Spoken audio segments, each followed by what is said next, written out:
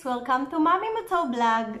Okay, so ngayong araw sasagutin ko ang tanong ni Betty Rayos.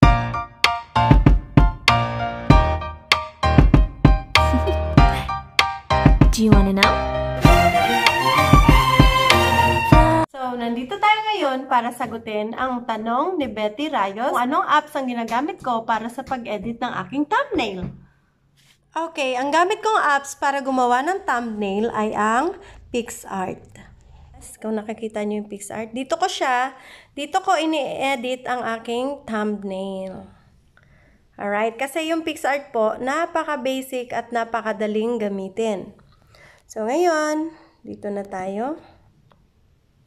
Kuha muna tayo ng uh, background natin. Ano kayo magandang background? Kasi mas napipili ko lagi yung yellow. Yan. Mas gusto ko kasi to. Tapos ngayon, mag-add tayo ng photo. Kung anong gusto nating picture na gamitin sa ating thumbnail. Katulad nito. Ito ang gusto kong gamitin. There. So, add natin yan. Ayan. So, ang gagawin mo dito ngayon sa picture na to, punta ka sa baba, cut out mo siya para mawala yung background. So, pili mo lang, piliin mo yung person. Ayan. Ayan. So, kung may gusto kang burahin sa gilid, ayan, kung may nakikita kang medyo hindi okay, burahin mo siya. Pero para sa akin, preview natin. Ayan. Para sa akin, okay na yan. Okay, go back. Then, save po natin. Alright. So, Pagkatapos niyan, punta po tayo dito sa baba. Tingnan natin tong border para lagyan natin siya ng line. Ayan, tapos adjust po natin siya hanggang 30. Ayan, hanggang 40. Sometimes ako 40 or ano, 45. Pero masyado na makapal si 45. Tapos adjust po natin siya. Teka lang. Ayan, palitan natin. Ayan. 'Di ba? Ayan. Lagay siguro natin siya dito sa gitna. Or dito sa gilid. Ayan. Okay, check na. Ayan. Pag-check mo, syempre, kung gusto mong mabago yung effects ng mukha mo, katulad nito, yan. Very good. Or di kaya ito. Yan. Pero dito tayo sa BRL. Yan. Dito po. Yan. Okay. So, ayan na. Tapos, check mo na siya. Pag-check mo, syempre, hindi ka patapos. ba? diba? Alangan naman, yan lang, lang ang thumbnail mo. So, lalagyan mo siya ng text. Halimbawa, di ba ang title ng ano natin ngayon, ng video natin ngayon is, um, ano, okay, mag-edit ng thumbnail. Okay.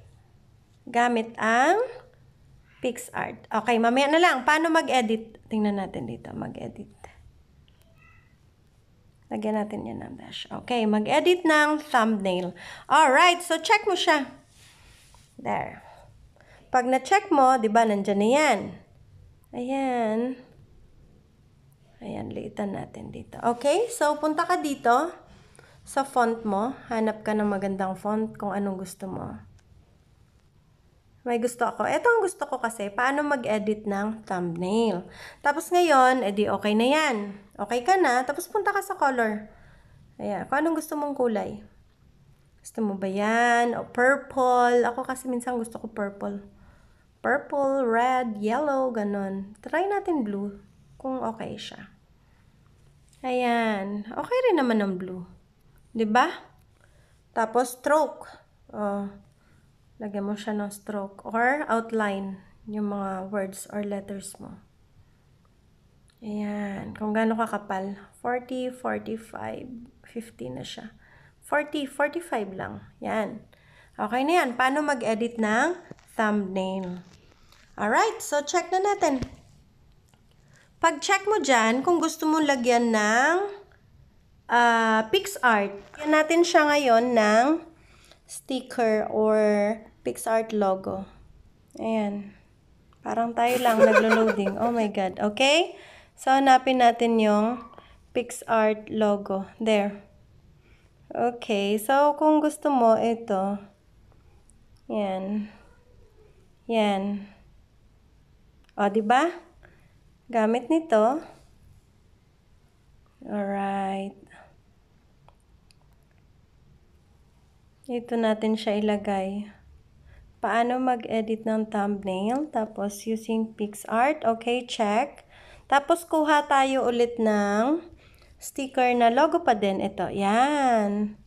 Ito, yan. PixArt. Okay. Alright. So, lagay natin siya dito. Ayan. Diba? Yan. Alright. So, malit lang. Paano mag-edit ng thumbnail? Okay. Tapos lalagyan natin siya ng mm, easy way. Yes, yan. Lagyan ko ng easy way. Yan lang. Tapos, yan. Ayan. Lalagay natin siya dito. Tapos, ayan. Ay, wait lang. Hmm. Paliitin natin siya.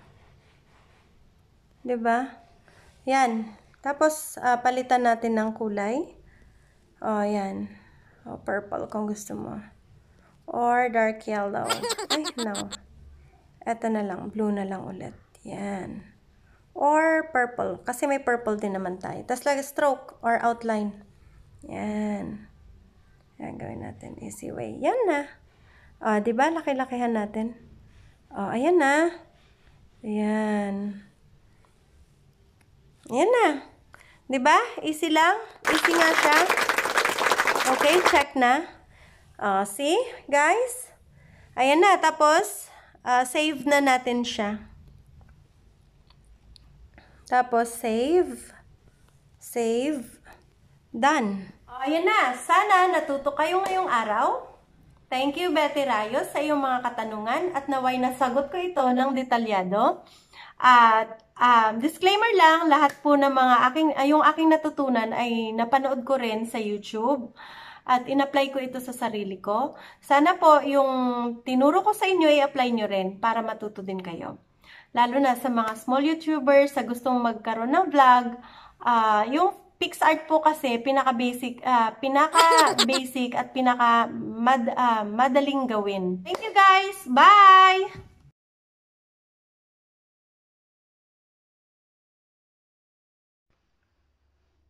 Sa Pixar po kasi ay pinaka-basic at pinakamadaling gamitin para sa paggawa ng ating thumbnail.